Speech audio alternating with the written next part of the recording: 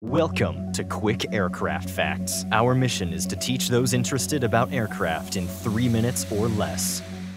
In World War I, before the days of dogfighting, aircraft were used primarily for intelligence gathering. They eventually evolved into becoming a lethal instrument in war. However, their vantage point gave commanders a bigger picture that was needed to win battles. Over the years, aircraft were developed specifically for intelligence gathering, and others were early warning aircraft like the Navy's E 2 Hawkeye. But the United States Air Force, NATO, and other U.S. allies rely on a much larger bird. The Boeing 707 was a humble passenger transport aircraft that helped usher in the jet age. After being modified for military use, this humble aircraft became the E 3 Sentry and it did its fair share with providing leaders the big picture they needed to achieve victory. Developed in the 60s, the E 3 Sentry, or AWACS, was designed to use the latest technology and replace the Lockheed EC 121 Warning Star. The Sentry, in short, is a mobile radar platform platform that is also a command and control center. Crews aboard the Sentry can provide commanders with vital information about enemy air and maritime movements. They can help direct assets, and if needed, they can forward their data to the President of the United States or Secretary of Defense.